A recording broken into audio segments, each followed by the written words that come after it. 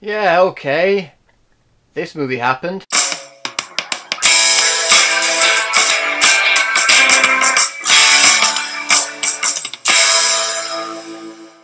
Chips, Law and Disorder, or just Chips, depending where you are in the world. So Chips is written, directed by and stars Dax Shepard as well as Michael Pena, Kristen Bell and Vincent D'Onofrio, and it's based off of a buddy cop comedy TV series, I believe. I don't really know much about any of that, but it's written and directed by Dax Shepard, so it must be good, right?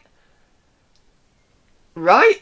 Okay, credit where credit's due. Let's talk about the good in this movie, and I can say that Michael Pena is really trying in this film. The guy's a funny actor, and you can see him really trying with the material he's been given. And yeah, sure, overall there are a couple of chuckles here and there, but for the most part, this is one of the most generic buddy cop comedies that isn't all that funny, and the main characters don't even have chemistry together on screen. Which I really don't understand, because if you're going for a buddy cop movie, you definitely need the chemistry to be there between the two main leads. And Dax Shepard and Michael Pena just do not have that chemistry. I mean, if they're friends in real life and they joke about with each other in that way, then that's great, but in this movie it doesn't come across. It comes across as dull and boring. In fact, these two characters, for the majority of this film, despise each other. They hate each other in this film. They pretty much can't stand each other, and in that, we can't stand watching them not standing each other. Does that sentence make sense?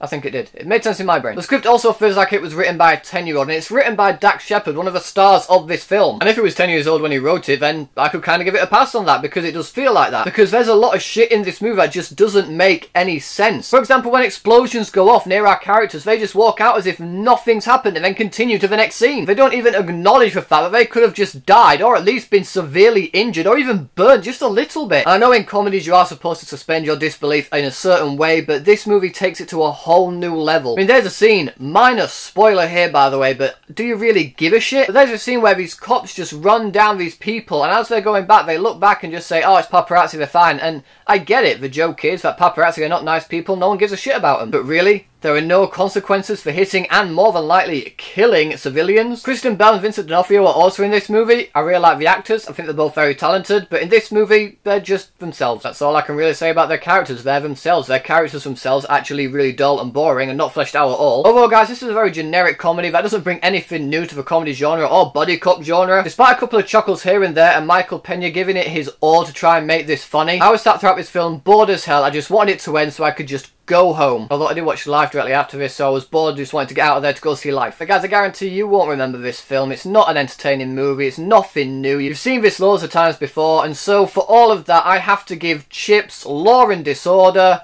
one star.